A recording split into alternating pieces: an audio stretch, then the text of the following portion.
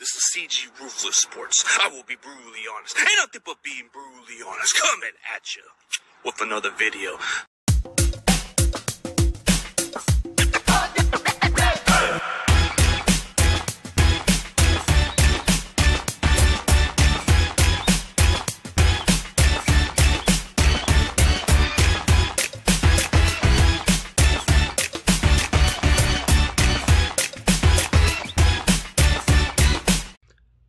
Yo, so guess what? So um I'm hearing a lot of stuff that's been going on for the last 2 days. I guess a lot of stuff have been adding up. So I guess Brandon Aiyuk found Fred Warner very annoying, and I guess in some ways Fred Warner took the response, but he wanted to bring the best out of him. But those other practices, they've been going at each other. They've been fighting. So it's common in football just a, a, perspective, just a guy from being the outside looking in because I used to play football.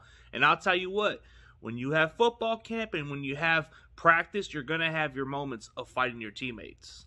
But is this the level of concerning for us 49ers fans to be worried about? Mm, that is something that most of us fans should be more concerned about, but in some ways, I look at it more like it brings the best out of the players.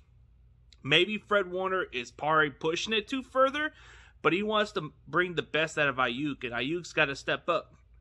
So I think Fred Warner is just doing the best he can. He's like that big brother. He'll stop picking on you until you eventually start stepping up. That's how he takes the approach because he's a leader of our defense. That big brother is going to keep pushing on you until you step up your game, and you're that little brother that's saying, Oh, he's so annoying like that little brother that gets annoyed by the older brother.